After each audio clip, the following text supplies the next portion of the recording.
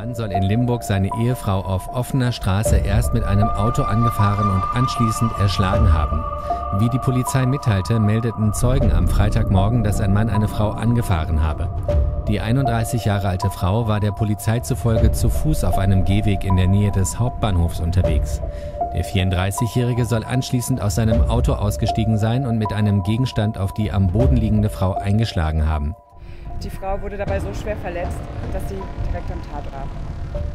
Der Mann ließ sich laut Polizei am Tatort widerstandslos festnehmen. Die Ermittler gehen nach derzeitigem Stand von einer Beziehungstat aus.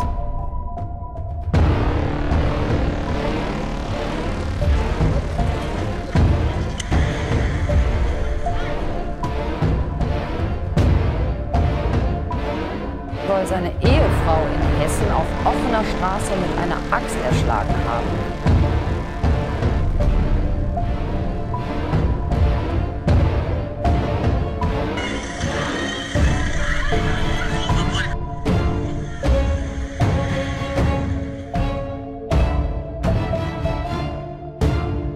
Augenzeuge Mike Göbel war auf dem Weg zur Arbeit, als er die Tat mit ansehen musste.